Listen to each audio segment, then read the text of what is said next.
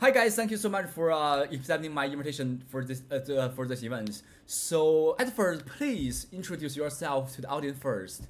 How about from you, Alex? You want me to go first? Yeah, thank you. Okay, my name is Alexis Sklarevski. I'm a bass instructor at Musicians Institute for a long, long, long, long time. So I have lots of years of teaching experience. Um, I live in, I've been lived in Los Angeles for most of my life. I've worked with lots and lots of different artists from all kinds of different styles of music, um, lots of recordings, lots of touring with different bands. Um, and um, yeah, I've interacted with lots of students from, from China when they've come in. And um, I'm going to answer some questions for you. thank you. How are you, Simon? Okay, my name is Simon Peng, also known as Hongli Peng, and I'm bassist uh, programmer and I work with like different artists in China now. So yeah, I graduated from MI at like uh, 2000 uh, uh, like 14, like and uh, I went to Berklee and I graduated at 18, and now I'm in Beijing working. Yeah, mostly in music. All Chinese artists. Good bass player, this guy. Yeah, I know. I already, I already post all his uh, like the biography and resume on our on our website. So okay, let's go for the next question. So could you guys introduce your program, like the courses, facilities, or other things, please, Alex? You want me to just go first every time? Yeah, Frank? yeah. Is that okay? Yeah. Okay, so we'll just okay. Um, well, what I do, what I do at uh, at Musicians Institute in LA is um, I have taught almost every class in the bass department at one time or another, but the classes that I've taught the most are the technique classes, um, fretboard classes like learning chords and scales and all that kind of stuff, and lots of reading classes and performance. That's really the things that I've been doing the most over the over the years. But for whatever reason, I ended up sort of becoming the technique teacher for basically for all levels of, of the regular school. So that's what I do. Okay. Uh, how, how, how about you, Simon? Simon? Yeah, my my program BIT, yeah, forever. Like yeah, my my favorite school, like and the favorite program, and you just get in the program, and I, I think the life there is like practice every day and play every day. It's good training for every musician. Like yeah, you can get that much opportunity to like you train yourself with different level of musician, different style of music. Yeah. Okay, thank you. Uh, so next one is uh, which course is your favorite course at MI? Um, wow. Well, I'm not really sure. I have a favorite course because I've never really, I haven't been a student there in 40 years.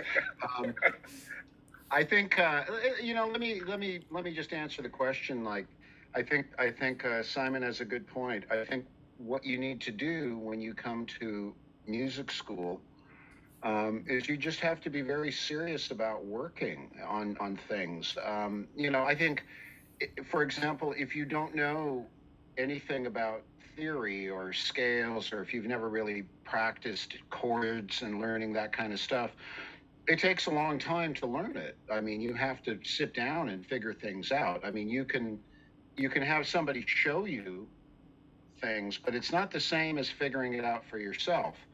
So you have to be willing to put in some time and really practice and work on your technique. I mean, you know, if you've never slapped on bass and you start, it's going to sound terrible for the first six months. And then all of a sudden you start getting better at it. So I can't really say I have a favorite class. I think they're all good. I mean, if you don't know how to read music, um, you have to sit down and work on it all the time, every day, lots and lots of hours. That's really what it comes down to. And, you know, I'm sure Simon being a student not that long ago, that's, I mean, I know that that's what he was doing. How about Over you? to you, Simon. Uh, I mean, every every course is, is different. Like um, LPW, you play with different players, and that's what what you can do in real life. Like you play with different like musicians, like you you you can know how to deal with them, and uh, uh, also the technique class, it give you a lot opportunity to like practice for yourself, like be prepared for like real life, you know, be a musician. The school is like give me like so much time and opportunity to make like mistake because I mm-hmm. can't make any mistake in you know real world. So yeah, every course is important and it's my favorite. Yeah, and I, I would just say also that if you're in music school, uh, I think a lot of students show up, uh, they like one kind of music or they like something and they go, Oh, I want to do this because I like it. And I go, Well, maybe you should do other things because you already know how to do that. So there's a lot of, for, you know, it's very, um, it's very obvious when you see people who are really into playing jazz and they don't like anything else. So they don't want to do anything else. And the same thing is true when you um, see people who are really into playing like metal or rock they go, oh, this is what I do. I go, I'm not interested in any of that stuff. And I go, well, you know, you're here. Maybe you should get interested, you know, because this is what you need to do. You know, you need to do all these things. And usually people get into different things at various levels. You know, they get they get into it to a certain point. Mm-hmm. Okay, so let's go for the next question. Next one sure. is, uh, what? Why did you choose MI? Well, when I was a student, mm-hmm. um, I chose MI. I, I applied. I applied to two music schools. Um, I applied to Berklee and Boston because I'm from Canada originally. Uh-huh. I applied uh, to Berklee and Boston, and I applied to what was then BIT and mm-hmm. GIT in LA. And uh, I literally chose to go to to California because they gave me my student visa fastest. that was literally how I ended up there. That's a good reason. Because I was ready to go to Boston. You know, I thought, well, this is close because I lived I lived much closer to Boston mm-hmm. than LA. Yeah. But um, you know, a lot of music I like historically that I've liked. You know, the musicians that were in Los Angeles really were some of my favorite players, you know, people that I'd listened to all my life. And I just thought, you know, I'll never forget the first day of school at MI. I walked up the stairs and uh, Robben Ford was sitting there, the guitarist, you know, and I mean, I listened to him for years already. And I just went, like, I literally was, oh my God, it's Robben Ford. And I thought, well, how great is this? I mean, not that I was going to play with him, but just that he yeah. was there, you know, and I go, hi, you know, and he's like, hi, you know, so I was, you know, that was pretty cool. How about you, Simon? Um, first thing, MI doesn't need any like education background before you get in, so I don't need to be like high school graduate, graduated.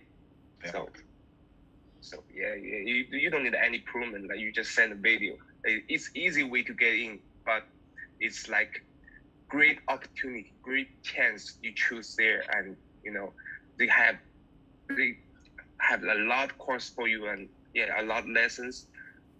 You just it's really useful. You use useful, yeah. Mm-hmm. Okay. So yeah, that's why I choose there. Okay, so go for the next one. Is uh, what is your most impressive experience or memory at MI in the past years? Oh, wow. Well, that's um, for me. Um, there's been a lot. Um, I, um, but I'll tell you what. I'll tell you what. As a student, really, that my best memory mm-hmm. is that I went to school. There was a group. There was only 16 bass players in my class mm-hmm. when I went, so it was very small. And um, I remember meeting a bunch of uh, musicians from all over the world. I had never met musicians from Europe before. I, you know, you were basically playing in your little world at home, and that was it. And I got there, and these guys were my age. You know, we were all 21, 22, 20, and they were as Simon's been talking about, they were immediately like practicing all day and rehearsing at night and you know they were writing music already and doing all these things you know? And at first i think i wasn't really doing that very much. Like i thought if you practiced you know like a couple of hours a day that was a lot you know? Mhm. these people were crazy. I mean it was like eight nine ten hours. They would get there at eight in the morning and go home at midnight you know? And i started to get into that world i started to realize wow i mean these people are really serious about this. And it was very inspiring. I mean it could be very depressing too because you would listen to somebody who plays really really well at a very young age and you're going oh my god like i what what on earth did they do? I mean how, did this happen? Um, so that was very inspiring. And and, and that kind of kept kept me going for years and years and years like right up until now. I mean i still you know i still play my bass a lot. I, it's not you know even when i'm not getting paid for it or i'm not teaching i mean you know teaching is only part of what i do. It's not my whole life. Um, but you know apart from that my memories are you know i mean i met jaco pastorius at mi i. Uh, you know i saw all kinds of people playing there all throughout the years like that were unbelievable like just amazing musicians coming through there all the time. So that of course was always great because they were all my heroes.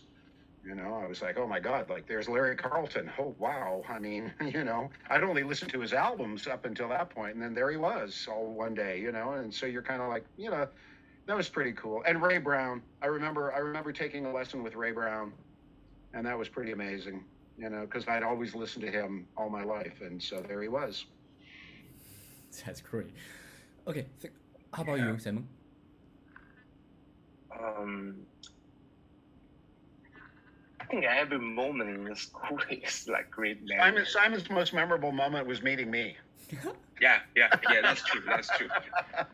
Was was that? What, sir? I'm lying i'm totally lying That's true. That, that's true. With Alex, I had like so much to practice. I recognize, okay, it's not enough practicing. Like every time he sh- he shows me like new technique, new way to salute a, a solution. Like yeah, it's it's it's so great. Like he push he pushed me like thinking by myself, not like rely on others. Yeah. Yeah, that's a very you know that's a very important thing, and you know I think most of the teachers at MI are like that. I mean, um, Yeah. because you have to you have to teach yourself, or you have to learn how to teach yourself because school is only a year or two years or something like that. But you know your music career goes on for your whole life, so you're always learning something. You're always working on things, and you know it's like Simon. I mean, he graduated from MI what almost 10 years ago simon right no 2014 No, no, no, not yet.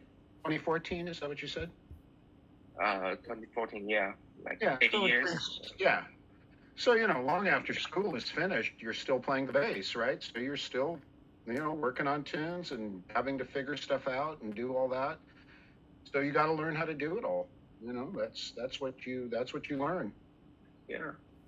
Okay, thank you. So the next question is, uh, yeah, actually the next question is for our instructor. So this question Okay. come is come from some the Chinese study abroad agency. So from the agency. okay So they would like to know what kind of student would you like to meet in the level audition, or what what, what kind of student would you like to recruit to MI? I mean, or we can say what kind of student is your favorite student? Well, okay, let's see. Um, well, here's here's what I always ask people when I meet them, Mhm. because um, I, if somebody is just sort of beginning in their in their musical world, um, you know, they may not be hundred percent sure of what they want to do. I mean, all they all they know is that they want to play music. They don't really know what that means, you know Mhm. um, you know, most young musicians, they see somebody on television or on the internet or they hear something and they go, "Oh, I like that. That that would be fun to do." You know, that would be. So they don't really know for sure, but all they know is that they're interested. So I would always ask um, students when I first meet them, you know, do you have any idea of like what you would like to do with with you know with your music career, with your bass playing, let's say specifically, and you know, 99% of the bass students that I have uh, seen, and I've seen thousands of bass students over the years, um, they all talk about being able to play lots of different styles of music, understand what, you know, how to do all of these different technical things and be able to improvise and be able to basically be sort of a studio musician, like a freelance musician that can work. Now, that's most 99% of them tell me that. So I go, okay, so let's, if you start with that as being your end goal, then you have to work backwards from that. And you go, okay, well, what do I need to know if I want to do the, these things? Well, I have to learn styles. I have to have really good technique. I have to have really good time. I have to be able to read. I have to be able, you know, like there's all these other little things that come up. So if you're asking me what my favorite kind of student is, or, you know, I think it's very important that somebody maybe has been playing for a few years um, and has worked on some things. But the main thing that is important is that they're interested in doing the work. Like you have to be able to sit down and be by yourself and work at what you're doing. That's the first order of business. Um, and people find that difficult to do because they're used to playing with their friends and hanging out with their friends and jamming. But that's not really the same thing as working on your instrument. And I'm sure Simon can tell you it's those two worlds yeah. come together, but they develop in different ways. Thank you. So that's my long answer to your short question. No problem. Thank you. Thank you for your advice. Thank you. Sure. So, uh, yeah. So next question is for our alumni. So this one is from some of the new freshmen. So they would like to know how should students, how should the, the new student, I mean the freshman, choose their private lesson instructor after the enrollment? Uh, I'm sorry, I didn't catch the last part. What did you say? Uh, oh, so this question is for our alumni, for, for Simon. So, Oh, okay. I'm oh, sorry. sorry. I'm sorry. sorry. 就是他们新生，他们会想知道，就是说该怎么去选择他们的自己的专业老师，就是说在入学前后。 Okay, first you have you have to have a goal in your mind what you want like study and who you want to study with. You you want to study like um, um, um, really good technique. You choose Alex. He know he has a system. He has a system, right? You have a system. I have a system. your mind. Yeah, yeah, in your mind. How how to get there? How to get there? So that, that's really important. You have to choose the right person to teach you. Yeah, you have to know what they do the best and every, every I, I know every like bass teacher, bass instructor in MI is great, but they have like different uh, I don't know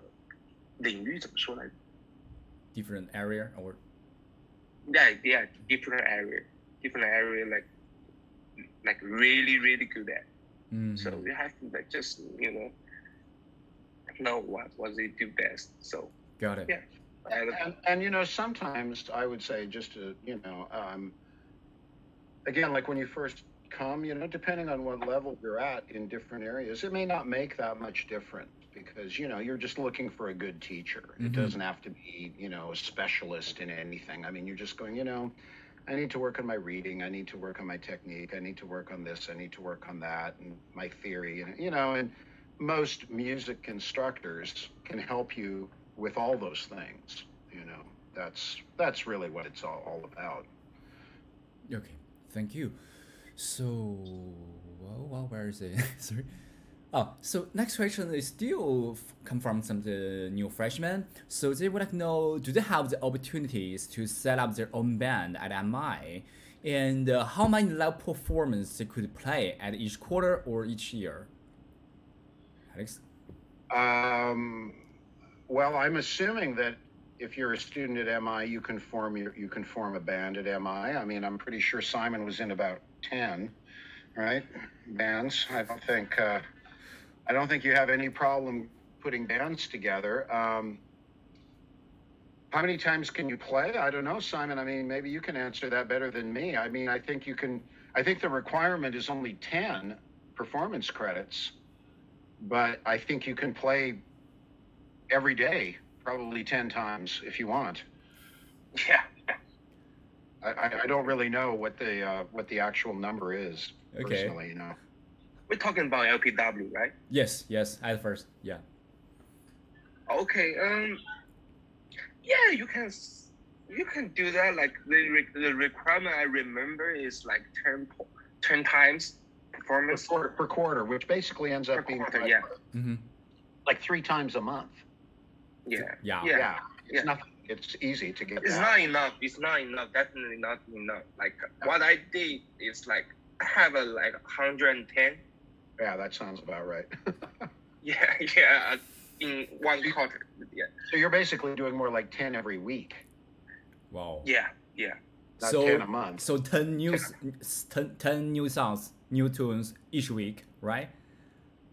Or- Yeah, you have to push yourself. Like sometime, like grab the cheat sheet and go there and play. Listen to the music, go there and play. Don't Okay. don't even care about like the music style if you like or not. You just mm. co- go and play. Yeah. Absolutely. Yeah. You got to forget about all those things. You know, you're just there to play everything that you can. It doesn't matter if it's Latin music or R&B music or funk or rock or metal or what. You just go and do it. You know. Yeah. Got So it. play yeah. rock music. Yeah, play rock music. You gotta be uh, aggressive and play pop. You gotta be like right there in time and groovy and play like bossa nova. You gotta be, you know, just bossa nova. Or Simon's favorite fusion. Funk, funk. funk. Funk. funk fusion. There you go. Okay. Thank Yeah. you. Okay, let's go for next one. Is uh, could student minor in another instrument or major? I mean, this also from some of the new fresh freshmen. Yeah. Um, you know, I'm not sure what the uh, what the setup is for that. Simon, maybe you know better than me if you can do that. Simon. Um, I can't. I can't really remember if they if they No problem. No problem. have that program set up like that. yeah, Yeah, I think in bass really deep. I mean, I did. I didn't even choose an, another like minor, minor instrument, but I think it's necessary to to know. If you play bass, you have to know something about keyboard Mm. and Yeah. something about like pro how do how do like do the program for live performance Mm. because I, that's what I do in in China. Like Mm. I play bass and I have to like open the Logic and, and do all the programs for the, Yeah, yeah, yeah. just for the show. I mean, I I always, you know, I think there's a certain point where if you're studying bass, um, you have to, as Simon just said, you know, you have to really get into it. So you don't have a lot of time to start learning other instruments because the program's not that long. I mean, if you Mm. only go for what 18 Yeah, months, yeah. it's not that long. I mean, so if you're practicing bass a lot and really working on that, um, that's what I would focus on. But having said that, I mean, my first instrument is keyboards. So all my life, I've always used piano um, as a way to hear harmony and to be able to figure out full chord changes and do all that kind of stuff. So it's super valuable if you can play something like that. And I'm sure, Simon, when you were going to the other music school, um, they uh, they make you play piano, right? You have to. I mean, you- Yeah. it's a requirement. It's a requirement that you have to. yeah. So, you know, Got it. Thank you. So next one is uh, what kind of internship or uh, job opportunities where MI can provide for the current student and the graduates? oh wow. Um, boy, I, I, Another hard one. Another hard question well, you. it's you know, I, I, I, I don't know what they actually do. I know that they have a, um, what's the word that I'm looking for? Sort of like a website type thing where students can register and they they have people coming and auditioning people and things like that. Um, You're I think there was a guy. There was a guy there, right, Simon? Um, what was his name? That was auditioning students for different bands. Yes. Sometimes there was a guy that came in. I don't Um, remember. I, uh, I can't think- remember. Yeah, I, I- I think we have a But- career internship office. At, okay, yeah. I, You I again, you know, I'm not sure what they have set up. I mean, that's more of an administrative question than than a, you know, maybe I don't know, Simon. Whatever your experience was with that, I really don't know. I, I don't know. Like I never go in there. Never. It was too busy. Like, I know what I. yeah, you're too busy. yeah, You're too busy. I mean, y- I know. yeah, you didn't have to uh, go go for uh, like an office to ask for a job. You mean everybody just looking for you, right? Well, that's know, the before plan. I go, before I get into MI, I know what I gonna do in the future. So I, I, I don't work in that that Ah, office. Like, yeah, I just practice what I need. And I- you know, one of the things that they do, um, you know, that's in the music department, um, a lot of times what happens is, is that they will offer graduate students an opportunity to do TA work, like teacher's assistant Mhm. work. So you end up working, you know, that way. You can actually get. I think there's a visa that you can get if you're if you're a foreign student, and it allows you to stay extra and get some practical training and practical experience. So that's maybe more what you're asking about. But I don't know the details of that at all. I have Yeah. no idea how you go about doing that. But I know a lot of students get that job for Okay. sure. yeah. I mean, I just uh, came out with another idea because uh, because you guys uh, are playing bass, right? It's not for vocal or guitar. I mean, bass Right. is the most hard. I mean, how can I say that? The, for, the instrument, the important, most important instrument for everybody, for every single band. So you guys don't don't really don't have to ask for a job from office. I mean, everybody want to go go go go for ask for help for from you guys. So you guys, this is also another important thing for the bass player, right? Um, well, I think uh, it's harder to find a bass player. It's Yeah. hard to, you know, because there's not that as many. There's lots, many, many more guitarists, obviously. Many, many more drummers than bass players, and, And that's the same in school as it is in Singer. the real world. Um, so, of course, if if they hear somebody and they can play, um, ever they're going they're going to ask you right away, hey, can you come and do this? Can you come and do that with me? You know, and or I have an audition for so and so, and so yeah, I think it, but it, I, I think it's more uh, just a reflection of how many bass players there are in the world. Never mind at MI. There's just less. It's just not, you know, that's just the way it is. Got it. Okay, let's go for the next one. So this one is like almost like a, the maybe most important question for the Chinese parents. So this one is how do you feel about living in LA? Because you know most of the Chinese or the Asia the parents in Asia countries, they just feel maybe the US, United States is not I mean the safe as safe as uh, the Asia countries, especially in China. So how do you feel living in LA about the neighbor? And, and also maybe we can talk about the, the, the, the food or something like others. Oh boy. Um, well, yeah, that's a tough one. Um, yeah. I mean, especially you right now, the COVID-19 and the racial stuffs, especially Yeah. the last guy in the house, especially that one, that time. I mean, you know, in America, boy, I don't even know how to answer that question. Uh, you know, in anything under two hours. Um, all of my when I was a student, all of my friends um, were students. You know, and we came from everywhere, all over the world. I had friends from Sweden, friends from Holland, uh, people that were there from Africa. There were Japanese students, Thai students. I mean, you know, none of us cared where anybody was from. It was irrelevant to me where anybody was from.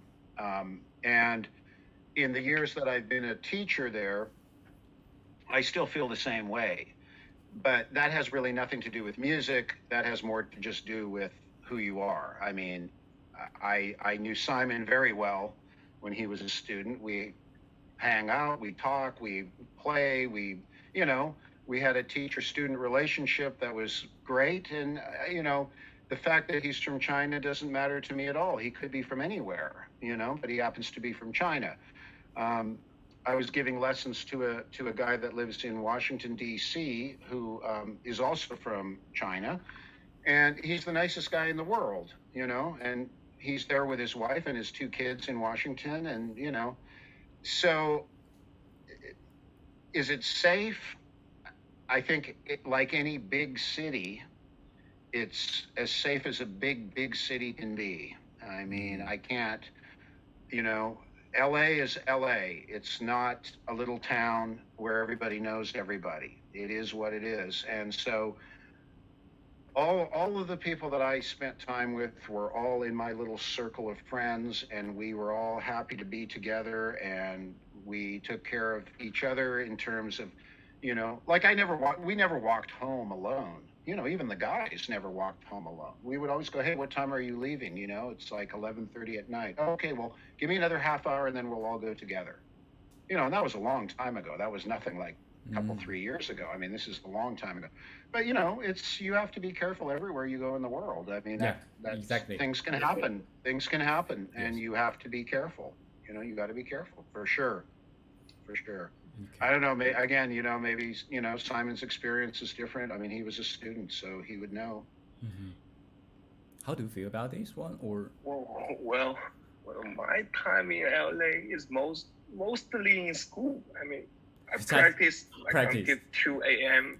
in the morning, and just school have has a bus like just can take us home safety. Uh-huh. So yeah. I mean, the food there is good. It's good. Like you, you can have like Thai food. You can have like Mexican food. You can have like you know, you know fast food. Any food you can get. Like, I mean, it's it's great in LA. What is great in LA, I think, is you have a lot of opportunity to see people play mm. on stage.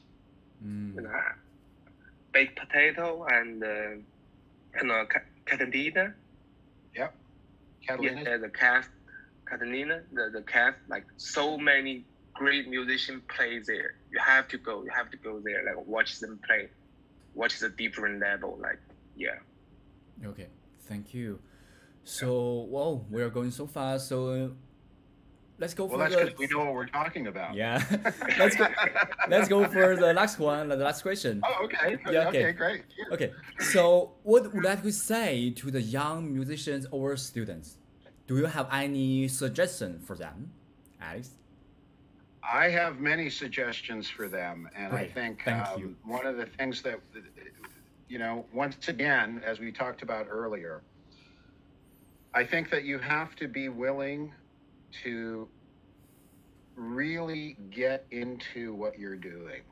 And I have this I have this conversation now. I had this conversation 10 years ago with students from Peng's era. I had this conversation 20 years ago.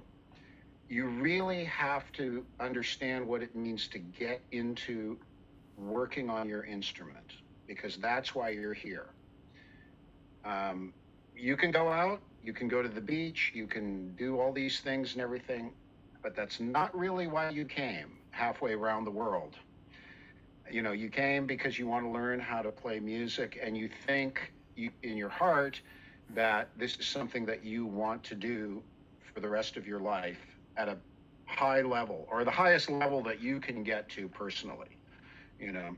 Um, so I think that if you think that way, that's the most important thing. You have to really be willing to sit down in a room by yourself and practice your instrument and work these things out because it's the only chance you'll get. Right? Like Simon's working now. Right? You don't have all day to practice. You have things to do. You have other people who are going, you know, you got to be here and you got to do this and you got to do that. And it's the same thing for me. I mean, I'm working. I'm working. I can't just sit all day. Although in the last year and a half, I had more time than ever in my life. It's unbelievable. Um, so you know that's really the main thing that I would say to them. I mean, I, I think you have to be willing to, to work at, at what you at what you say you love. I mean, you know, you shouldn't, you should never have to tell anybody that they have to go and practice. They should know that. And they should just do it because they love doing it, not because you're making them do it. You know, that's, that's my advice to everybody who's trying to get into music on a professional level. I mean, I, I have friends who are world famous musicians um, who still work really hard at their craft. I mean, that's they do that. They work at what they do, and they've been doing it at a very high level for many, many, many years. So that's the those are the people that I look to for inspiration. You know, that's that's really where where I find it. So got it. Thank you. Thank you. Yeah, that's my advice. Thank you. Uh, how about you, Simon? You just go to RMI. Don't think anything else. You, you have to practice. You have to be prepared. Like, and you have to be on time. Like, they tell you like, be here at like 9 p.m. You don't be there at like 9 like 05. Just on time. Like, be strict. Like, um, and you have to listen listen to a lot different music music like style just for your future and uh, what i have to say like yeah you, you know you have to know why you go there and Mm. what you want to get from there and what you're gonna do after you graduate so Got it. yeah Thank you. Yeah, I think I think the big difference, you know, is a lot of people. I mean, people like music everywhere in the world, and people have fun with music everywhere in the world. But the difference is, is that when you decide that you want to be a professional musician who does that for a living, all the criteria change. You know, everything changes then because you're saying, okay, I don't want to have a job somewhere else. I want to do this.